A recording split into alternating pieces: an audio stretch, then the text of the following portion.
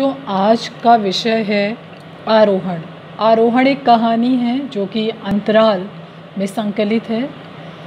आरोहण कहानी में लेखक ने पर्वतारोहण की ज़रूरत और वर्तमान समय में उसकी उपयोगिता को रेखांकित किया है। पर्वतीय प्रदेश के रहने वालों के जीवन, संघर्ष तथा प्राकृतिक परिवेश से उनके संबंधों को चित्रित किया है। किस तरह पर्वतीय प्रदेशों में प्राकृतिक आपदा, भूस्खलन, पत्थरों के खिसकने से पूरा जीवन तथा समाज नष्ट हो जाता है? आरोहण उसका जीवंत उदाहरण प्रस्तुत करता है। आरोहण पहाड़ी लोगों की जीवनचर्या का भाग है, किंतु उन्हें आश्चर्य तब होता है जब ये पता चलता है कि वही आरोहण जो लगातार चढ़ते उतरते हैं पर्वतों से, उसे ही आरोहण कहा है। आरोहण किसी को नौकरी भी दिला सकता है। इस कहानी के माध्यम से लेखक ने पर्वतीय प्रदेश की बारीकियों, उनके जीवन के सूक्ष्म अनुभवों, परंपराओं रीति रिवाजों उनके संघर्षों, यातनाओं को संजीदगी के साथ रचा है। मैदानी इलाकों की तुलना में पर्वतीय प्रदेशों की ज़िंदगी कितनी कठिन, जटिल, दुख और संघर्षमय होती है, उसका विशद विवरण यह कहानी प्रस्तुत करती है। ठीक है तो अब हम ये कहानी है, इसलिए इस आरोहण को पूरी कहानी के तौर पर पढ़ेंगे। सिर्फ़ एक चित्र मैं आपको दिखाऊँगी और उसके बाद पूरी कहानी की तरह मैं उसको व्याख्यायित करती चलूँगी। ठीक है, बच्चे? भूप सिंह और रूप सिंह दो भाइयों की ये कहानी है। रूप सिंह पूरे 11 साल के बाद अपने गाँव माही की तरफ़ चलता है और साथ में किसे लेके जा रहा है? शेखर कपूर को, जो कि उसके गॉडफादर कपूर साहब का बेटा है। आईएएस की ट्रेनिंग उसने पूरी की है और बस उन्होंने देवकुंड स्टॉप से वह उतरे और वहीं माही पंद्रह किलोमीटर दूर रह गया था। माही क्या? वह गाँव। आज भी वहाँ जाने के लिए सड़कें ना थीं। पर्वतों के दुर्गम रास्ते थे जिन्हें पार करके वहाँ जाते थे।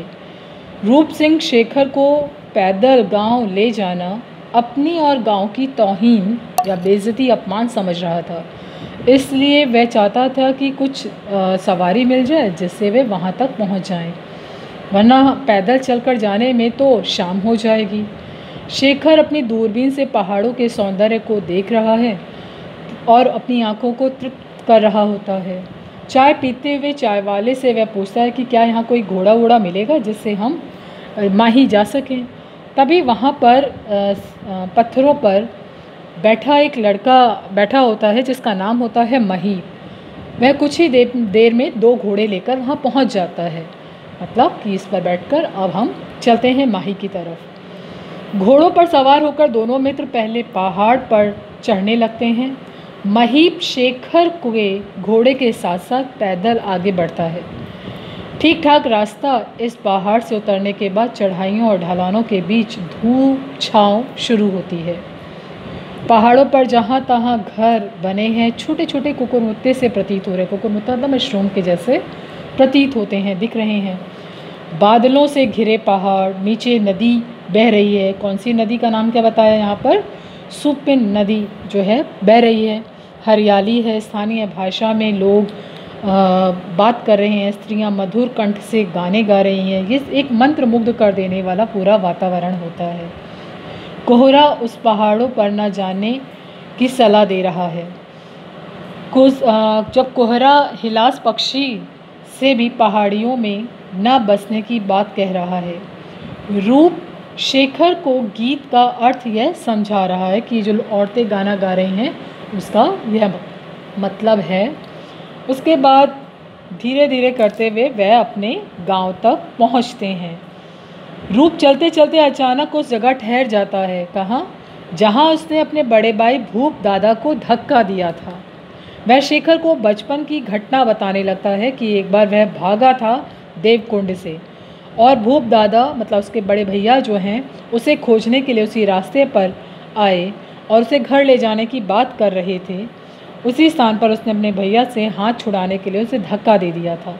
भूप दादा ढलान में लुढ़कते हुए एक पेड़ पर जा अटके थे, जिससे दोनों की जान बच गई और वहाँ से वह सुरक्षित आकर अपने भूप दादा और अपनी खरोचों पर पत्तों का रस डाल रहा था। मतलब एक फ्लैशबैक में जाता है, अपनी यादें ताज़ा करता है। भूप दादा इस तरह इस घटना के लिए खुद को कसूरवार समझते थे। उन्हें लग रहा था कि यदि उन्होंने रूप का हाथ ना पकड़ा होता तो वह गिरने से बच जाता। और इसी तरह से वह अपनी यादों को ताज़ा करता हुआ बढ़ता जा रहा है। अब धीरे धीरे वह पर्वतारोहण की बातें करता है। वहाँ से जब वह आगे बढ़े दोनों मित्र तो पर्वतारोहण की चर्चा करने लग जाते हैं। माउंटेन क्लाइंबिंग जिसे हम कहते हैं। आजकल बहुत सारे इंस्टीट्यूशन भी खुल रखे हैं एडवेंचर क्लब जो हैं, जहाँ पर खुद के लिए एडवेंचर मतलब खुद के लिए जोखिम उठाना।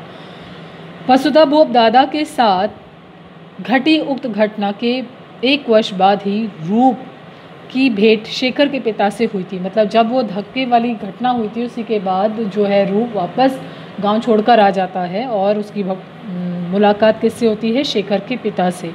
उसके बाद उसकी पूरी ज़िंदगी बदल जाती है और वह पर्वतारोहण की शिक्षा ले लेता है और एक एक तरह का उसका व्यवसाय प्रारंभ हो जाता है।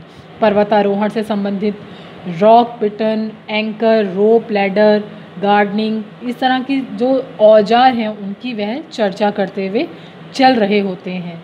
शेखर, तभी एक बड़ी ख़तरनाक सा एक रास्ता आता है संकरा सा राता रास्ता मतलब बैरो, बिल्कुल नैरो वे होता है, वहाँ पर अब दोनों घबरा जाते देखिए, दोनों ही दोनों एक ज्ञान लेकर आ रहे हैं माउंटेन क्लाइंबिंग की। माउंटेनिंग कर रखी है इन्होंने पर्वतारोहण कर रखा लेकिन ऐसे रास्ते को देखकर दोनों की जान निकल जाती है, घबरा जाते हैं। उन्हें लगता है, पता नहीं अब क्या होगा। पर महीप महीप वह लड़का जो दो घोड़े लेकर आया है, वह उन्हें धीरे पुचकारता हुआ, उन घोड़ों को पुचकारता हुआ, उस संभल कर, उस रास्ते से बाहर निकाल ले जाता है और दोनों बड़े हैरान में रह जाते हैं। तभी रूप जो है शैला के बारे में बता बात करता है। शैला, जिसे वह बहुत ज़्यादा प्यार करता था महीब की नज़र महीब जैसे ही शैला का ज़िक्र आता है महीब जो घोड़ा चला रहा है लड़का, उस, वो एकदम से ध्यान देता है उनकी बातों पे कि क्या बात कर रहे हैं। रूप बताता है कि शैला जो है भेड़ जब चराने आया करता था तो शैला भी साथ में आती थी और शैला के साथ के लिए वो बहुत सारी चीज़ें लेकर आया करता था। शैला के साथ उसकी भेड़ों को भी वह चराता था। लेकिन कुछ समय बाद उसे पता चलता है कि शैला उससे नहीं, उसके भाई जो भूप है, उससे प्रेम करती है और उसी से वह विवाह करना चाहती है। उसके बाद महीब जो है, बहुत, जो घोड़ा लेके चल रहा है बच्चों, बहुत उदास सा दिखता है उन दोनों को।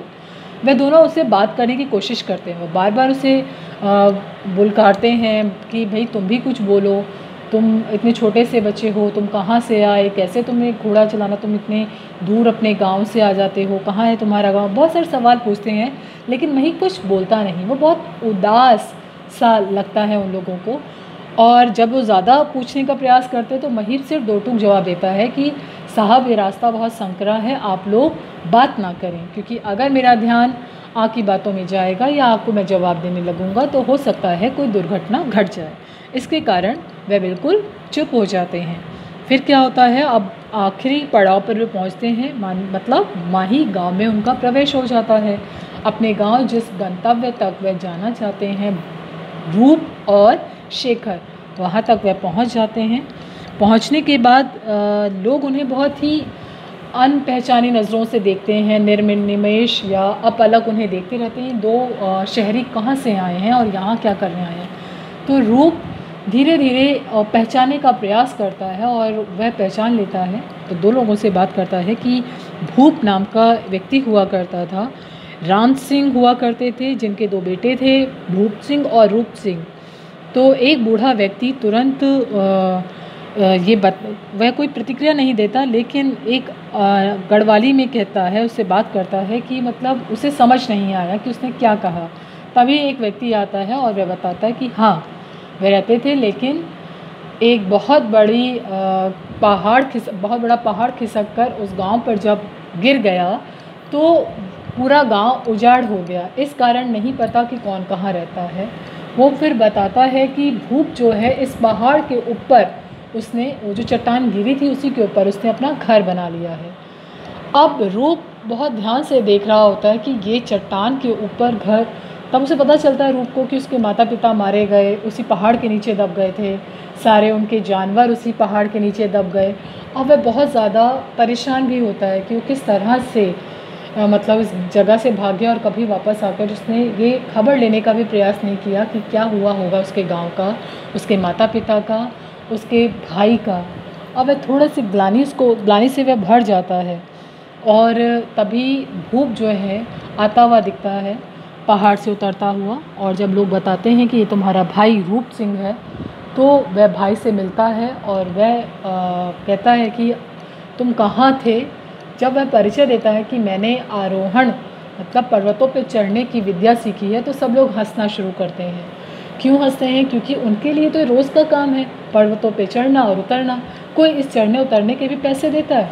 ये सब उन्हें बहुत अचरज सा लग रहा था। हैरानी हो रही थी सब बातें सुनकर कि पढ़नो पर्वतों पे चढ़ने से भी कोई काम बनता है? या ये भी एक तरह का कोई काम है जिसमें पैसे मिलते हैं? ये सब चीज़ें गाँव वालों के लिए बहुत हैरानी की थी और साथ ही साथ भूप के लिए भी। भूप सिंह कहता है अच्छा तुमने शहर में जाकर ये पर्वतारोहण का कार्य किया है तो इस पर्वत पे चढ़ो। उस पर्वत को देखते ही शेखर और रूप सिंह दोनों की ही हवाइयाँ उड़ जाती हैं, क्योंकि वह पर्वत एकदम चिकना होता है और उस पर किस प्रकार चढ़ा जाए, उन्हें भी समझ नहीं आता। लेकिन रूप सिंह, कहते हैं ना, नैसर्गिक प्रतिभा, जो जन्म जिसने जहाँ लिया है, वहीं से उस विद्या को उसने सीखा है तो उसमें किसी तरह की बनावटपन नहीं है। वो क्या करता है, अपने मफलर से बांधकर पहले रूप सिंह को चढ़ाकर, चट्टान पर रख कर आता है, फिर शेखर को भी बांधता है और वहाँ चट्टान पर चढ़ा देता है। वहाँ जाकर उसे क्या दिखता है, किस तरह का वातावरण होता है, वह हम अगली कक्षा में पढ़ेंगे। ठीक है बच्चे? तो जितना भी आपको पढ़ाया है, जितना आपको एक कहानी का पहला भाग सुनाया, उसे आप क्या करेंगे? आप उसे एक बार किताब के द्वारा पढ़ लें, जिससे वह चीज़ आपके दिमाग में पक्की हो जाए। ठीक है बच्चे?